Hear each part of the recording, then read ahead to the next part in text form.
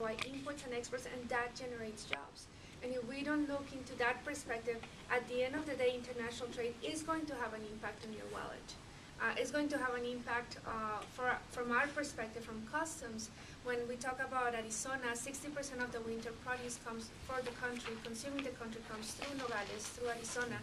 If we delay the crossing of that tomato, the shelf life of that tomato goes down and the price goes up. And so when, when I was using Jane Doe and Joe Doe, but someone told me that why do assume that women are the only ones buying the produce? So, being politically correct, I'm gonna say Benito Perez, let's go with that name.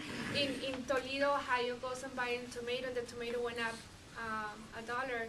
That can be impacted by the work that we do. So, as an agency, from to your point, um, Mayor, that's the message that we're starting to to to to tailor is is your jobs are going to be impacted by what happens on the movement of cargo and trade, it's it's harder. I mean, you when when you come here, and I'm I mean speaking from the heart, coming coming from the border. Um, when you come here in Washington, we have to to to as a government, we represent everybody. So everybody has it has we have to put all all the different areas into perspective. But trade is so such an important element uh, for the economy and for the jobs that we're changing the message uh, on that part. The third thing I want to mention, you mentioned U.S.-Mexico, very important, and, and I want to bring into here also U.S.-Canada because um, that's another meeting the President had with, with Prime Minister Harper, and we're working very close on different implementations. And it is, um, it is really a, a, a, a true partnership in terms of how we're going to look at the North America economy and, and North America perspective because it, it is, we have to remain competitive. When we, do all of you know what maquiladoras are? Everybody? No? Some, some, I, I know. Probably the high school students. I know, don't yes, because, so from the border from us, maquiladoras are like, uh, Plants. ev- yes, every day, every day. Maquiladoras are plants, are indus- industrial manufacturing plants that are open in Mexico, where we bring the raw materials, going to the maquiladora on the Mexican side without paying duty. Uh, a good is put together and then is sent back to, to the United States. And so maquiladoras are, there are a lot in Mexico all along the border. It's a big economic development. You have foreign trade zones too. I'm not going to complicate all, all on that part, but we have, to give you an idea, we have parts that, that build uh, automotives that move sometimes up to 36 times between Canada, US, and Mexico, go back and forth. And therefore why the movement of the cargo along the ports of entry is so important for the economy because these companies depend on just-in-time delivery. Um, so I'm going all over the place in that, but to, to, to, to finish on, on your point, uh, Mayor, it, it takes a lot of us educating, and, and that's something that, that with Department of Commerce we're partnering on how do we go and do more outreach and multiply the event. But to the point of the mayor, uh, too, from, from Nogales, the community has to start to and help on that part. It is it is very important um, to, to, to have that that that concise message uh, on that area. And, and Sorry. we're, and we're open to collaborating with you, so if feedback, suggestions, please contact us. And um, for your event um, on September 23rd, if there's someone that we can get out there for, we have local U.S. export assistance centers across the United States, 109 locations. I believe Eric Nielsen is out in Arizona. If we could get him out there to participate in your, in your working group meeting, we would love to participate in those things because it is, in the end, it's about the economics, it's about the jobs, and, and making sure that we do get this message out about, about the border being, being open for business. It's good. Tell them we're gonna have burritos and machaca. I will let you. It's gonna be a Maybe I'll get on the breakfast. It's gonna be good. too. ¿A? Yes, a las 10 de la mañana. Uh, So these issues are fascinating to me, I- and I have huge respect for NDN and the work that Simon did in telling me the statistics on crime this morning were new to me. I commend the administration and your all work on, on this issue, but it's a huge perception problem. Mm-hmm. And it's not just a local sheriff. I mean, a year ago, I heard Hank Crumpton, the famous CIA agent, discuss after the inevitability of a terrorist attack, a nuclear attack in our lifetime, that the Mexican situation was the most scariest issue that he thought that exists in the United States today with the drug trafficking and, and so it's a big issue. So you have a huge perception problem. It sounds like you've done incredible work. can you partner with stakeholders on a communications plan? Hmm. Obviously, the president, the Uber celebrity, is a little bit busy these days, but can you, can you partner to get stakeholders, maybe with the help of an NDN, to get a real communications plan of, of ads and celebrities and events? Because um, changing this perception is gonna be, as you know, incredibly difficult. And I think you have to use a lot of, a lot of communication techniques that I just don't see. And I'm, I'm fairly close, literally in San Diego, and a lot of this is news to me. So, So, if I may, just, just from, from our side, and I, I will ask you to please repeat that question to, to my boss this afternoon, to because he will give you an answer, but it is a big challenge. I, I mean, you, we, we do understand, and it is, uh, what Mexico is going through right now is historic, uh, in terms of, of the situation that they're facing. It is not, that has never been denied. It is a big challenge that our, our, our partner, uh, our partners are, are living in Mexico. It's also something that cannot be denied that President Calderon has really taken the bull by the horns. Uh, and I, I wish I could use other terms, but I have to be politically correct now. No, but he has really taken the bull by the horns on fighting crime in Mexico, and therefore why we have seen such violence. The challenge with the communication piece is we live in a 24-hour news cycle uh, process, and, and, and what, what can be sold or not. But that is something that we're looking at, uh, at least from our perspective, from, from Customs and Border Protection, very important element for us because we have a lot of investment, a lot of resources that have been put along the border to facilitate. And we also are working through Plan Merida uh, very closely with the Mexican government in training, in doing a lot of stuff that are working. But there are sensitivities too that we have to be aware of for Mexico uh, in terms of how do we communicate that part. And, and that's that's another uh, another storm. As you know, they're they're also starting an election uh, next year. But it is point well taken. I would love to, to see how how um, our commissioner, uh, my commissioner responds. But it is something that we're looking at as as, as, a, as an administration. But it is it is a challenge um, And- from different And I, uh, I think you're exactly right in terms of engaging with stakeholders, and the private sector is, is a key part of that in getting the message across that Mexico is an important trading partner, that there are opportunities there. Our undersecretary is taking a, a group of companies, I think there are twenty companies that will be going to Mexico City in just, um, a week and a half, uh, to talk about renewable energy and energy efficiency and how we can open up that market within Mexico. And, and, and so you have companies like GE, well, I probably shouldn't say all, I have actually not cleared which companies we can say that are going down there. But we have major corporations, US corporations going down there, small and medium-sized businesses going down there. But how can we work with the private sector to help get that message across? Because they're the ones that are, that, that see the opportunities. And so, um, if, if, again, open to suggestions and ideas, and I would really love to continue this conversation with you. I think it's short, I uh, just want to say one thing. Um, You should view us as a resource. I mean, if you have, you're having an event, if you're, if someone, if you're speaking or someone else is speaking and you need information about it, I mean, we're all up here, we're all doing a lot. And so I, I- if we have your help to know where we can come and participate in a conference or provide you with information that, that you might be able to use to talk about either wh- whether it be, you know, the, the customs, the security, whether it be exports, whether it be the, you know, the significance of that, we have a lot of information that you yourselves can disseminate as, as leaders in your communities, in, in addition to having, um, some of our sort of principals come out there and, and present at an event or speak or just meet with people and sit down. I mean, we're, as you, as you've heard already, we're doing a number of, going to El Paso, Las Cruces, going to Mexico, we've already been to San Diego. I mean, it, people are going out there, we're doing a lot of work. So I think if you tell us where we can best plug in, I think that's a really practical way to just proceed and say, here, we're having this event, you should feel free to, I think, reach out to any of us in the town. as a follow-up, you should get someone to do a TED Talk and go to TED, Mhm. which has become one of the most modern ways of disseminating ideas to people who have influence. I mean, either the president of Mexico, someone should go in front of TED in February and make, make this case, because that's one. You know, uh, one, of- one of the things, uh, that, uh, the mayor was talking about earlier was, uh, the political football. You know, that, uh, that all of these things become political footballs and everybody has them, but as, the closer you get to the ground, the more you realize that people are working together. I think that's especially true on the public-private partnerships, it's one of the things, like, there are a lot of things we, we, we are agreeing on in Washington. The, the president's signing a patent bill today, uh, he sent a, a, a, a jobs bill to Congress. Uh, we're gonna work on a, on a, on a package of trade agreements and trade adjustment assistance. Uh, there's some bi- bipartisan agreement there. I'd like to talk about a little bit, and Simon, I know, uh, wanted to jump in, but, uh, about the, the work that public-private partnerships and, and some of the folks, uh, who are working for companies and also for, uh, the ACOS Covach from, uh, the Southeastern Arizona Governments Association. If anybody wants to talk about how you're partnering, not only across governments, but across government and the private sector to, to get, to get jobs.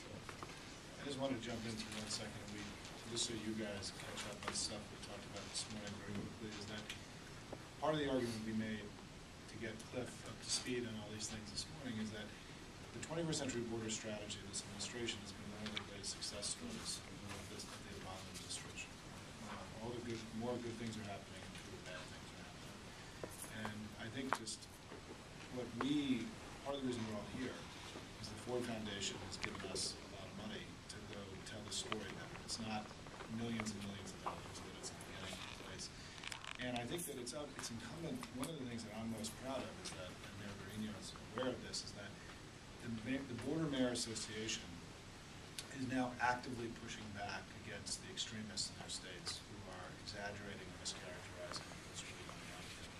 And it's gonna take us here doing our part, but it's gonna take new levels of organization, political courage, frankly, mm-hmm. in these individual states, particularly Arizona, where there's probably been the most extreme sort of uh, rhetoric of of all the, of all the border states. What Perry, I was gonna say, is, is in many ways, you know, he's being characterized as sort of a moderate on immigration. He's the and there's a difference, right? I mean, he's got a nutty set of positions on the border. We've, there is, this is the beginning, Cliff. I mean, what you're a part of is, and you're, and we would love your ideas. I mean, Indiana sort of right now is an outside actor who's perhaps has more agility sometimes than the bureaucratic mechanisms of the administration, is working on this, so we're very open to ideas, but there is a lot happening all around. Uh, You know, the San Diego Chamber is one of the leading institutions in this country, pushing back on the narrative that you're, you're bad narrative. Tremendous able leadership in your chamber, your local chamber, pushing on this. And I just want to say for their, for their benefit, um, I do think that at some point the administration has to appoint a, a, a single human being who is responsible for engaging in this day to day. I mean, there is an enormous number of stakeholders in the administration. There isn't a person who gets up every day thinking about how to push back on this narrative. Uh, where they would sit, I think it has to be the White House, is my own, view of this, uh, because of just the, the nature of the, everyone's a piece of this, but it's, we need a spokesperson so that when something is said about, you know, there's somebody who on CNN, MSNBC, Fox, and so on. Right now, we don't really have a person like that in the administration. It's something we have to, we have to. I think that's important. I think that's, uh, that makes a lot of sense, Simon, uh, and, and hopefully that comes to fruition. I think also what's important is, um, sustainability. So even, even with the perception of everything that's going on, you have businesses that are growing. Um, I think that more and more people are taking management into their own hands and starting their own businesses. Uh, at least, I don't have statistics, but that's my perception. I think, uh, Mayor Art, Art, uh, Art, um, Mayor, you mentioned it, Yeah. sorry. Uh, and, um, businesses are growing. Okay, so again, it goes to the resources, uh, it goes to the education, the access and opportunity. That as this business, businesses are growing, they're hiring two to three people, sometimes ten. You know, we want to sustain those, those jobs. And I think um, utilizing you all as a, sorry, my text came out. Um, You guys. We're- we're fluid. My, uh, my sister lives in Virginia, says, don't say y'all, stop saying that here. So, you'll get identified right away. Um, We can use you as a resource. Mayor? Yes, thank you, Carlos. Uh, You said, um, uh, Laura, about using you all for, if we were to have, like, as uh, John was mentioning, they had that reverse trade mission. If we could get someone from the administration there, in addition to that, it'd probably triple. You know, that would be great if we could do that. I mean, that would be awesome. And, and we, we have tremendous resources. Uh, we're, we're a small organization at the International Trade Administration, but we do have resources where we, we, um, last year, I think we had over thirty trade missions that went, we sent people across the world. um, and in a variety of sectors. And we, we do certify reverse trade missions as well, so we would be happy to work, Or work if, with you you know, if we needed to do, provide some funding to help pay for the costs, and we you know, we might be able to do something. Great, well, So if we please have your consider- contact information on that. Consider. You don't have a card? To remember. Uh, what I'm going to do, actually, this was a, a- I raced out of the office and I apologize, I do not have my card this morning. But I've asked Carlos if we can get Okay, the okay, list sign of it. everyone who's in Okay, great. attendance. And we'll send out our contact information back to the group and also some information on the International Trade Administration, some of the programs that we offer and. That'd be and great. Luisa would like to do the same. Yep. The second thing, the second thing was, we probably wouldn't hurt if we had a, um, a letter signed by all the border mayors and the US Mexico, uh, borders, uh, border mayors, uh, conference or uh, affiliate. Because right now, the governor of, of Texas, Rick Perry, has a big audience right now, and he's constantly bashing border, specifically El Paso. And uh, I know El Paso's trying to figure out how to, to overcome that. But I think if you had mayors from San Diego all the way down to, to Laredo, Brownsville, um, there's like seventeen of, of us, uh, and saying, denouncing him, because, you know, he just, he just starts off the- doing his thing. And I think he needs to kind of calm it down a little bit there. If I could uh, change gears a little bit, uh, because I'm cognizant of the time, uh, and save one of the more uh, uh, exciting topics for last, which is education, which is something that the President has talked about constantly. He's laid out a blueprint for reform. He's, just this morning, Secretary Duncan and some other folks are announcing this brand-new uh, effort to get more high-tech tools into classrooms. I want to acknowledge Gary Jacobs, who's been a visionary leader. Uh, High Tech High has been on our radar for a long time. They were one of the finalists uh, for the Race to the Top Challenge. Uh, Missed it by a hair, I think. But you look at the school, you see the video, it doesn't look like a, it doesn't look like a high school. It doesn't look like the school I went to. Uh, Glass walls, people working in groups. It's really inspirational. And um, uh, I want to first acknowledge you, thank you guys. I thank all the students who are here and ask, uh, what can we learn from High Tech High? And what are the things that we can, we can take from there, the good models that we can export to other, other, other schools? Um, And, uh, and, and, uh, and ask some of the students their experiences. Um, I think one of the things that we learn at High Tech High more than any other place that I can think of or any high school in the U.S. is communication. Um, because, like you said, we work in groups. All of our rooms have huge windows. Nobody's isolated when they're in a class. Nobody sits alone. You sit at big round tables and you talk about everything you do, and that carries over to every aspect of life in the end it, it can be related to all these border relations we're talking about you know people having misconceptions it's because we don't communicate enough and it's because people aren't communicating with each other and understanding each other in the right way and that's what we learn is to work with people to understand different people to understand backgrounds and to overcome that and that is a real world practice and that's what that's what the school's about is real world so It's fantastic. Yes, sir. I think something else that um, Mexico does really well is in problem-solving leaders and um, not followers and people. I mean, the issues we're talking about today are very cumbersome, and a lot of students, I feel, in, in traditional high school settings don't have the, the tools or the capabilities to maybe overcome um, the mental obstacle to face those challenges. And I think something that we're all ready for is to embrace those those obstacles and kind of um, look at them in a solution-oriented manner, and that's through project-based learning and the fact that you have a goal and you have an outcome, and how do you get there um, in a timely, kind of critical manner. Yeah, to add on Dimitri said, I think one of the at High Tech High we use um, habits of mind, and one of them is relevance. So almost everything we do is relevant, you know, to our community, to our city. And I think that's a big part of you know the culture of San Diego being a border city. A lot of you know when we do our internships, we're you know we're working in our community, and I think that's a big part that connects back to that. And Following up on Mona and Dimitri, High Tech High doesn't just prepare you for college, it really prepares you for the business world through project-based learning, our presentations of learning. So instead of having finals, we have to present in front of strangers or students, people we don't know, in front of the community.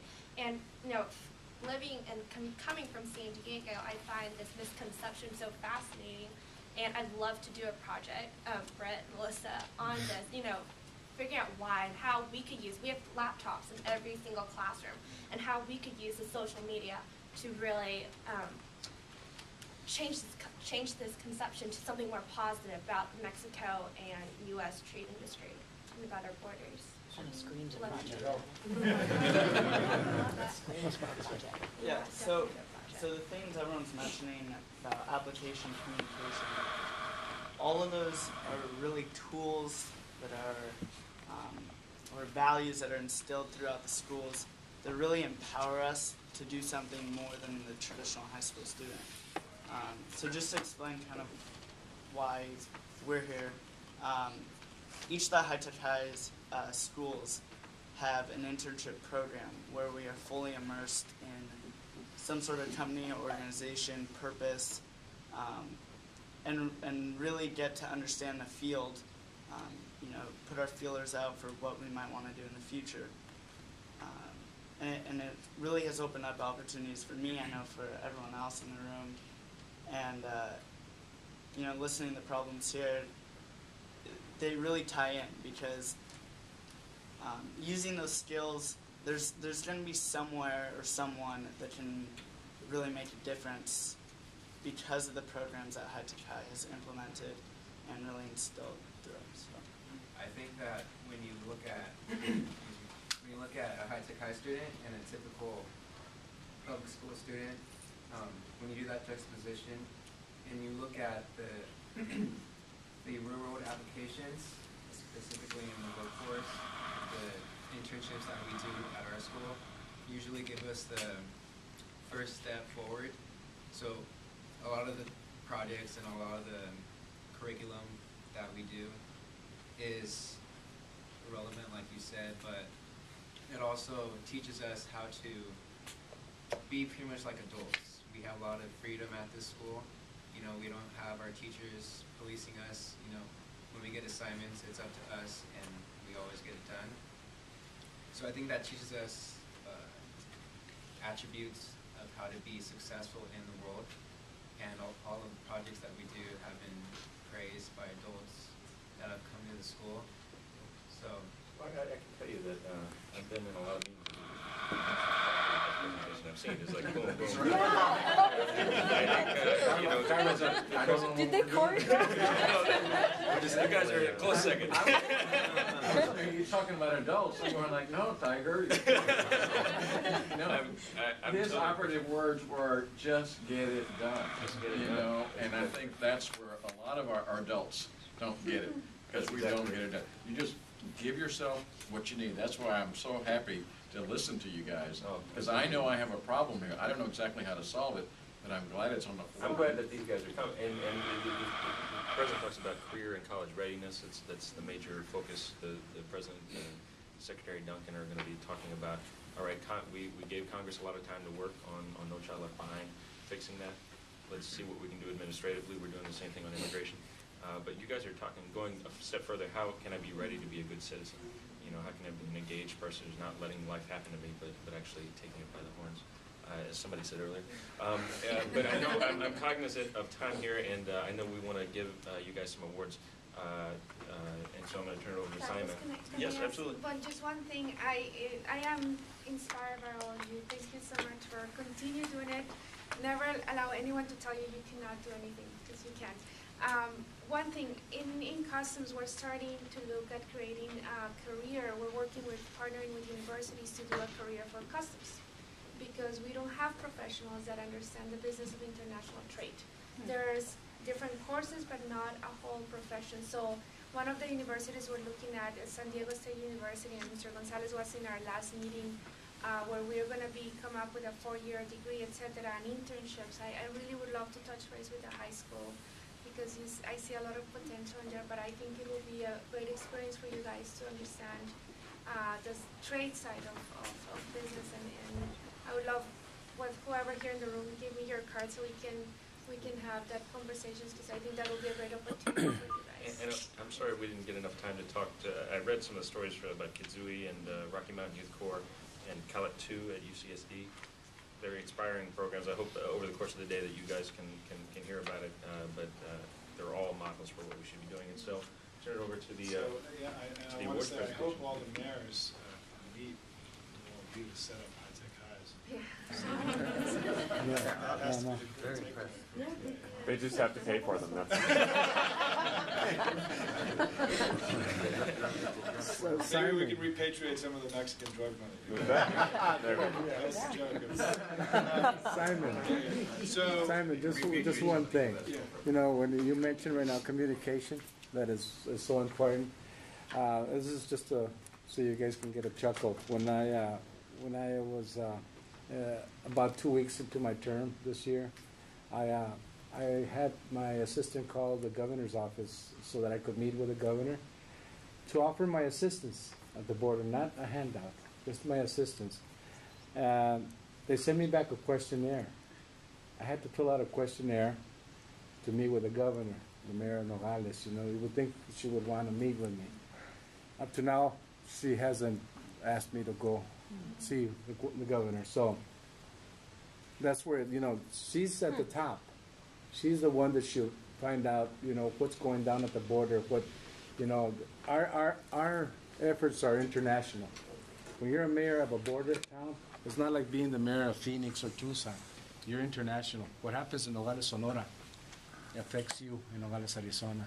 So I, you know, I'm gonna help her out, and uh, I had to fill out a questionnaire to to see the lady. We've learned a lot by listening. uh, to you Yeah, guys, so- but it's true. You know, when it comes We've when got- it comes we're to very busy, so I just want to say, Uh-huh. we- the next part of the program is we're actually going to award the official Champions of Change certificates, right, from the White House. And so Carlos, thank you for being part of this. I'm going to turn it over to Alicia and Julia who'll do this with Carlos. But thanks to you, everybody.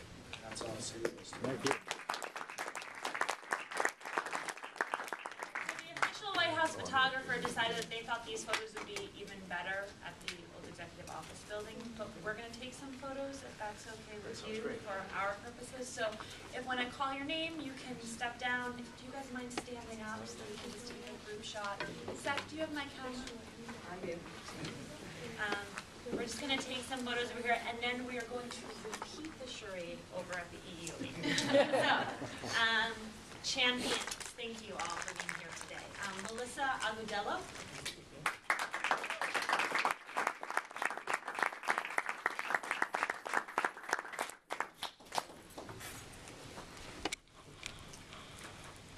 You have to strike a pose though over here. Thank you.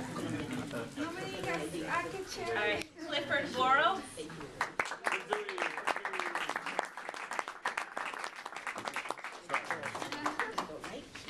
Where's it? That's in the back. Carl Colonius.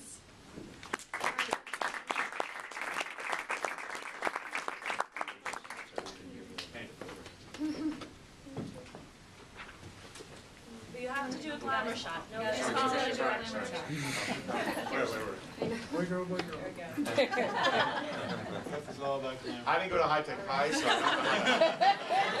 don't know. Miguel Conchas.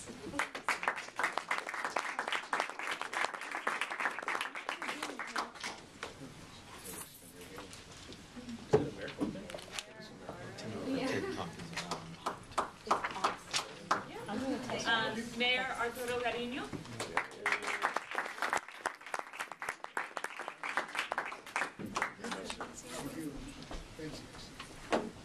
I'm gonna do this a little easier.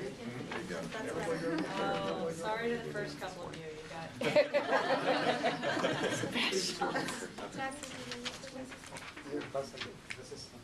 Thank you very much.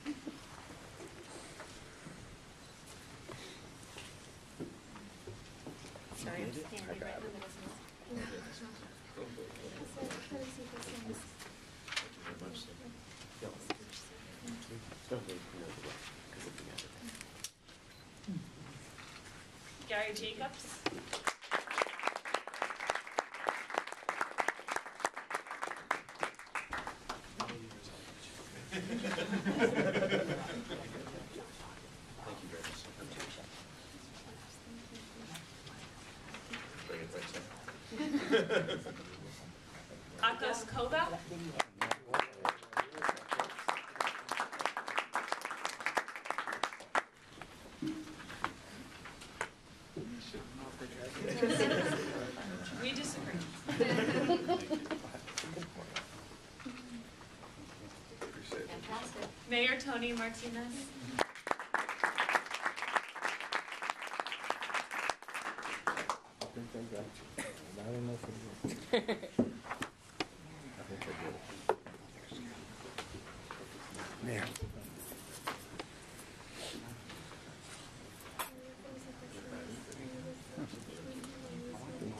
you out. Okay. Mark and Susan McCausland.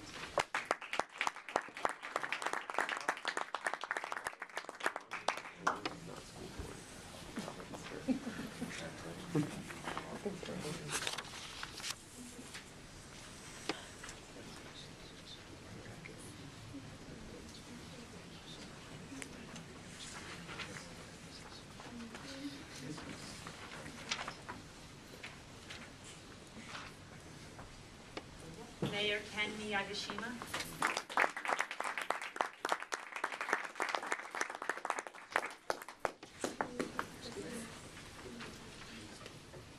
For my friends at High Tech High, I have this little thing I put as a border, kind of hold it real straight. Good project. nice. John Munoz. Gotta improvise.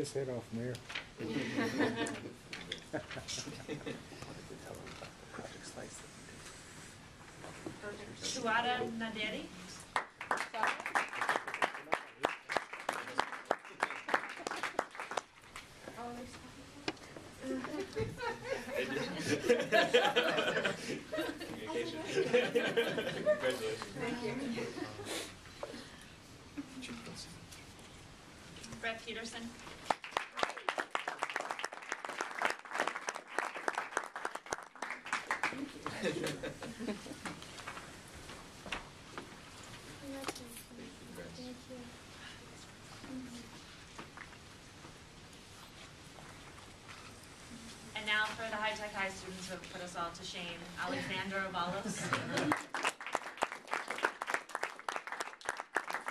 I want them all to maybe come up together with one group photo. How about we do each one individually and then we can do a group shot? Okay. You want- you have your moment. I tried. I tried. John. that was for you. Not, he's not the boss here. We're gonna be working for you.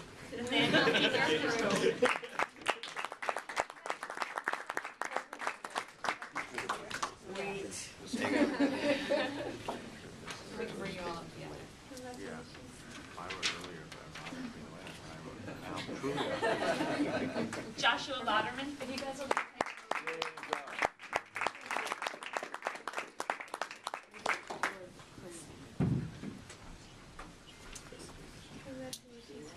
Congratulations.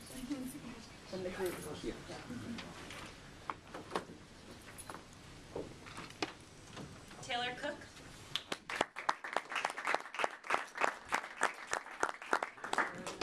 When are they gonna send a photo to us?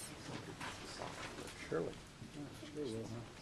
They're gonna frame it, and they're gonna send it, and they're gonna get Obama's picture in there, and it's sent to.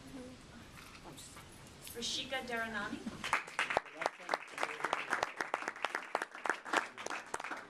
And for those of you that saw the commencement video, Rashika was the chair last year who put together the video as well as the entire application That package. was, it was inspirational.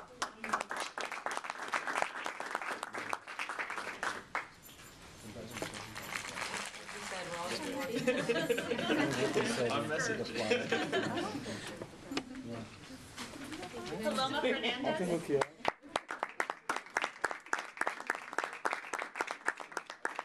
Yes, yes. Actual size. Yeah. He's about three inches taller than. Congratulations.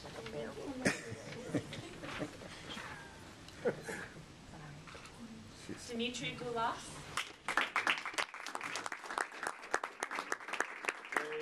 Good man. Didn't you choose, isn't it? Congratulations. I didn't catch it the first time. Sorry. Julia Roche. Let's look up policy. Very much.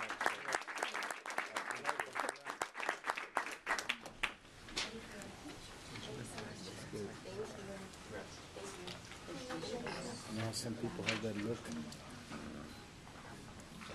Epiphany Rear.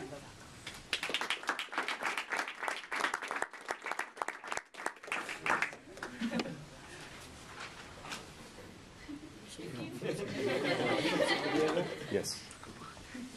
It's a great thing to come all the way up here. Yeah.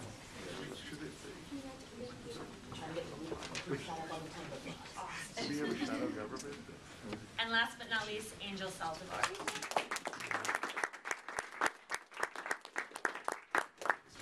Whose internship was all about border issues. Is that right? He worked with a group called Border Angels. Uh, Border Angels? Congratulations. You could all get together for a group shot. All the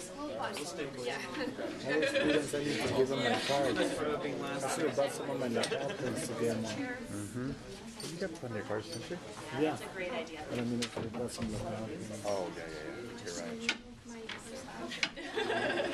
I was say, you're amongst friends. That's right. There you go.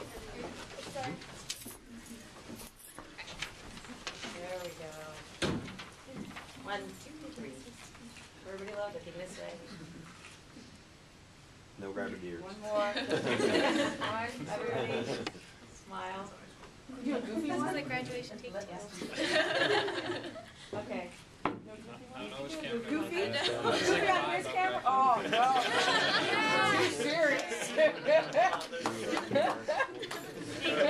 The mascot? Uh, Okay.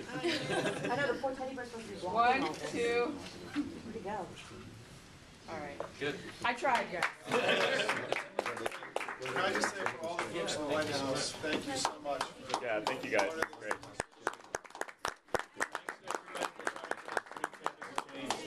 Uh, Enjoy the rest of your day.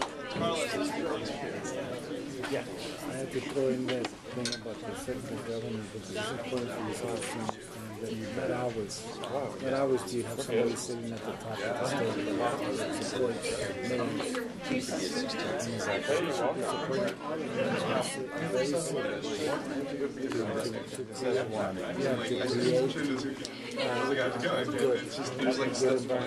state. It goes back to that whole cooperation and communication. Yeah.